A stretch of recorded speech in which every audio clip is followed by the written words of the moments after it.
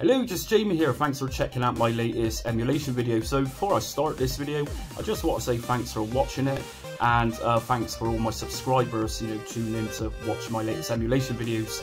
I do a range of different videos on my channel, music, tuition, obviously emulation, tuition, gameplay and modern games, so everything. So I need your support to upgrade the channel, as it were. I need new microphones, I need new backdrops, I can't keep going on using this. So I need a lot of stuff to enhance my channel to make it so much better. But anyway, uh, check out links in my description and enjoy the video. Take care. Okay, so let's just get on with this. So uh, thanks for the people who requested the Atari 800 to be covered in my emulation series. That's awesome. Uh, just to say, if there's a system you want seen emulated, it's a tutorial, just drop a comment and I'd be happy to explore it. Uh, it might even be in my playlist already. So for this one I have dug deep and I have found a very good emulator. It looks a little bit daunting but it's actually quite simple and it's not as hard as it seems. So if you go under my description, under the download section, let's just download the Atari Portable 8-bit emulator. So this emulator is going to cover many different micros of the 8-bit era from Atari comes with its own ROM file, but it's not fully compatible apparently. So if a game doesn't load, that's just going to be a case of obtaining your own ROM files to kickstart it, shall we say. So uh, what we need to do here is first and foremost, if we go under features, take notice of these images which it takes. Uh, so if you've got say a .zip or whatever and it's not listed here it's not going to work. So just ensure that your disk images have these has a file extension. It's also going to accept uh, CAS images which are cassette images. So let's just go and download this. So if we go to the download section and if we go to the github releases so the latest version of this is back from 2022 and by the seems of it it's extremely stable minus the ROM problem which can't be helped but that's down to legalities. So we need to download the win32.zip and of course I'm using Windows 11 for this tutorial but this is going to be compatible with previous Windows OS systems, operating systems. So let's just drag this zip out onto my desktop and we no longer need this website so close that down. Your next task is going to be to extract this zipped folder. So I'll use WinRAR for this, use whatever extraction tool you feel uh, fit to do. And this is going to give us another folder. And as I said this is portable so you don't need to install this one to your hard drive.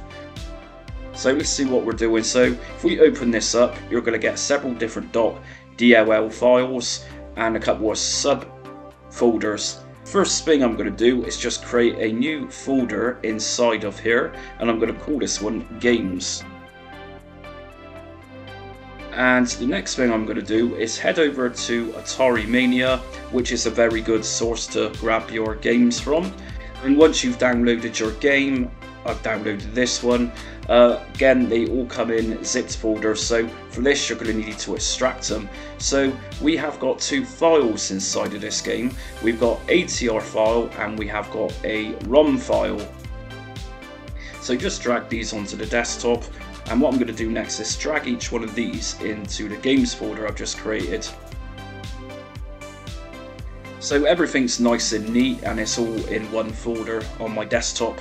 So let's just open up the emulator itself. So just double left click on the Atari 800 application. And this is it. So it's going to start off in a small screen, but we can soon sort that out. So uh, the key to use to get into your options in your menus and configurations is F1. And here we go. So like I said, it looks a little bit daunting. Uh, to select different options, I'm just using cursor keys to go up and down. So let's just go to system settings. Now the first thing you're going to see under system settings is the machine you want this Atari emulator to emulate. So at the moment it's on Atari 800 XL which is 64 kilobyte. If I press enter on this I've then got a different selection of different Atari 8-bit micro machines I want to emulate but for this one, I'm going to use this as its default, which is the 800XL. if you've got a game for say the 400 or another micro of the Atari range, then you obviously just select the micro that game was designed for to run on. So 800XL in my case, and if we just go under the OS version, which is the Atari operating system version, you can either have this one or just choose automatically. For this, I'm going to just, you know, choose automatically.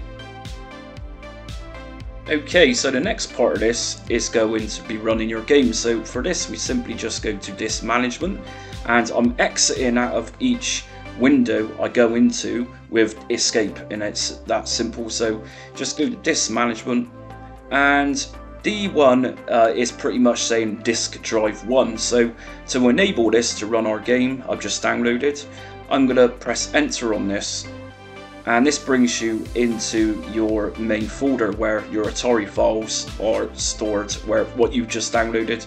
So if you remember I just made a games folder which is located on here as you can see it says games. So if I go into games here we go. This is the game I've just downloaded from Atari Mania. The game I'm going to download actually, the, the version of it is going to be the disc version which is the .atr.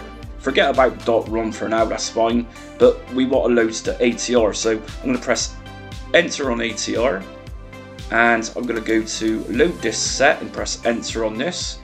Now I'm going to press escape and escape again and escape again.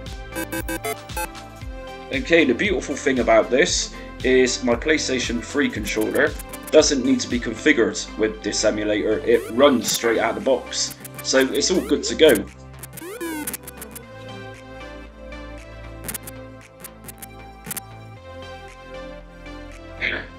Anyway, I've no idea about this game, I've heard of this game, and you notice I didn't uh, mention the game's name just now, and that's simply because I can't pronounce this one. okay, so you're obviously going to want to play this in full screen, or some of you might, very simple, so to do this, just press F1 on your keyboard, and this won't interrupt the game, it'll keep running, just press F1. Uh, next thing you need to do is just use your cursor key to navigate to display settings.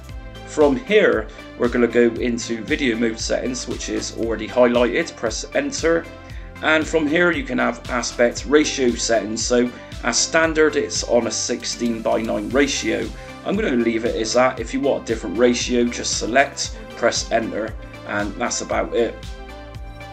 Okay, so the next thing you're going to want to do is your full screen resolution.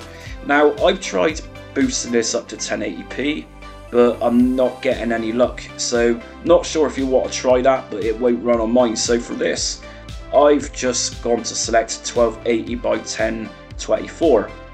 Press enter on this, and the next thing we need to do is just press on full screen. Press escape, press escape.